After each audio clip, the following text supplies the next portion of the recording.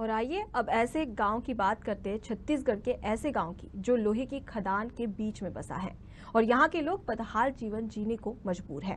इस गाँव में ज़िंदगी अस्पताल पहुँचने से पहले ही दम तोड़ देती है। मीलों पैदल का सफ़र हौसले पस्त कर देता है। देखिए कैसे लोहे की खान में बसा ये लोहा गाँव। सरकार की पहुँच से कोसों दूर है।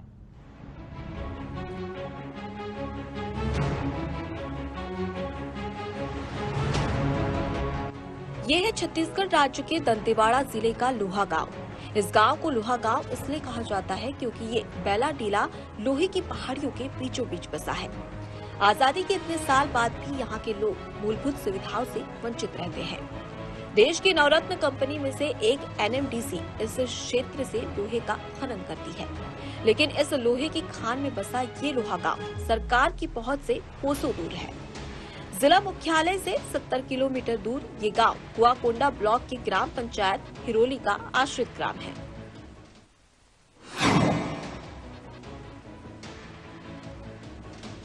एनएमडीसी ऑफ़िस के चेक पोस्ट के पास से यहाँ पहुँचने का मार्ग है। कुछ दूर डाबर सड़क तक आने के बाद लगभग 12 किलोमीटर लंबा रास्ता पैदल तय करना पड़ता है।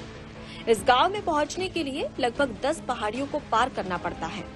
ऐसे कठिन मार्ग से रोज़ाना ये गाँव के लोग अपनी ज़िंदगी की जंग लड़ रहे। इस मार्ग से पैदल राशन और दैनिक उपयोगी सामान को लाना, ले जाना कर रहे हैं।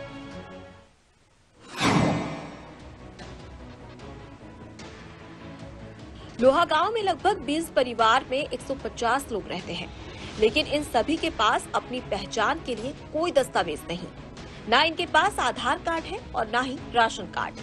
सरकारी राशन का फ़ायदा इन सभी ग्रामीणों को नहीं मिल रहा। सरकार की तमाम योजनाएँ इनकी दहलीज पर आज तक नहीं पहुँची।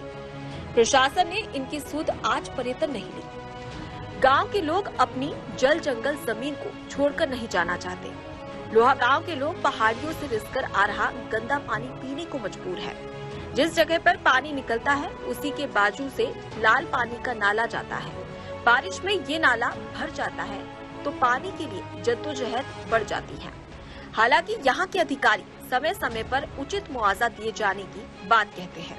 रंगीन लावा जो अंदरूनी क्षेत्र है ब्लॉक में जो, उन जगहों में के जो एक माध्यम जिससे बोर कराएँगे और वहाँ के लोगों को पेयजल उपलब्ध कराएँगे और उन लोगों को जो लाल पानी से प्रभावित है, उनके लिए वहाँ पे सोलर आईआरपी जो लगाते हैं, क्रीड़ा के माध्यम से वो भी उपलब्ध कराएँगे।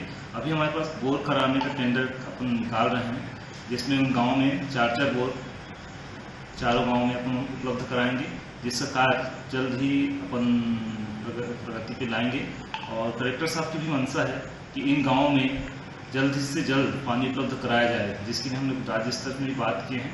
तो वहाँ से भी हमें आश्वासन मिला है कि हम जो भी कार्य करना चाहेंगे अपने स्तर से भी करें और जो सहयोग उन, उनके स्तर से चाहिए उनका वो पूरा सहयोग करेंगे।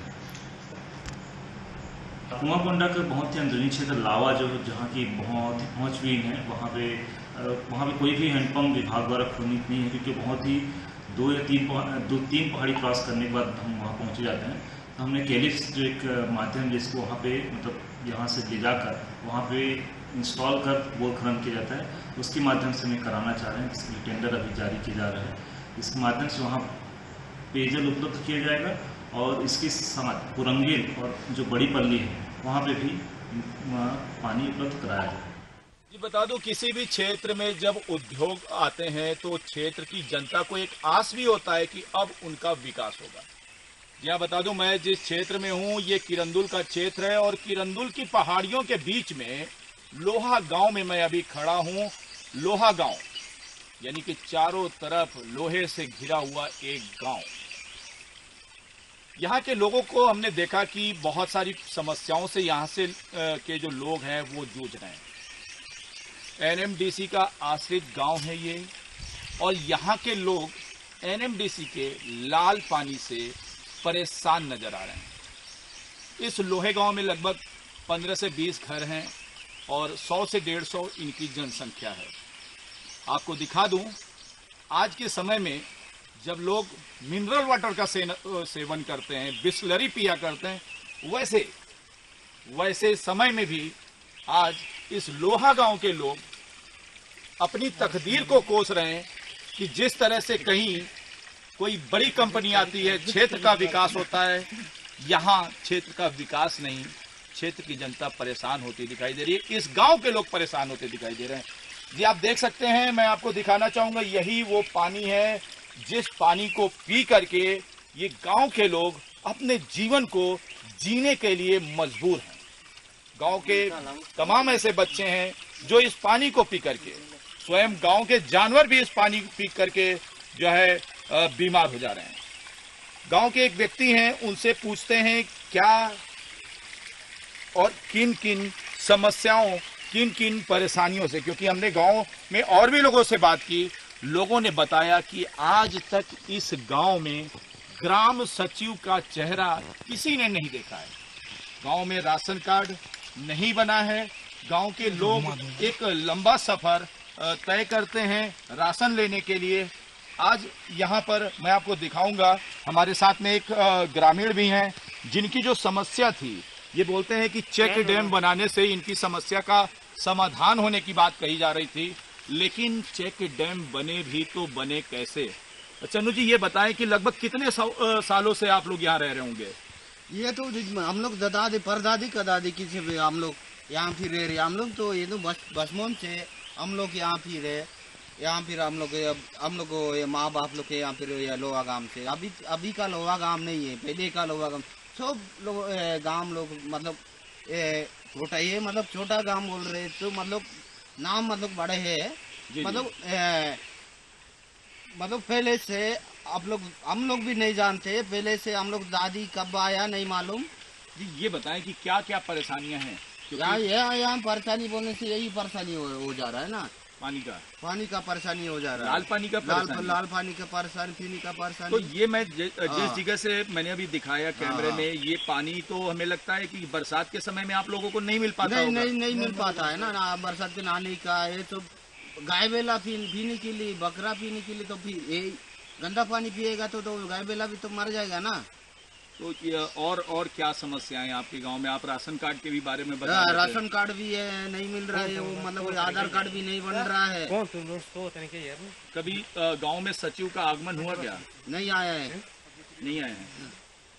मैं आपको दिखाना चाहूँगा जैसे कि ये बता रहे थे कि गाँव में सचिव का भी आना नहीं होता है और बड़ी सारी समस्याएँ गाँव में। आप देख सकते हैं कि ये लाल पानी बहुत ऐसा समय आता है जब इसको भी इन्हें पीना पड़ता है।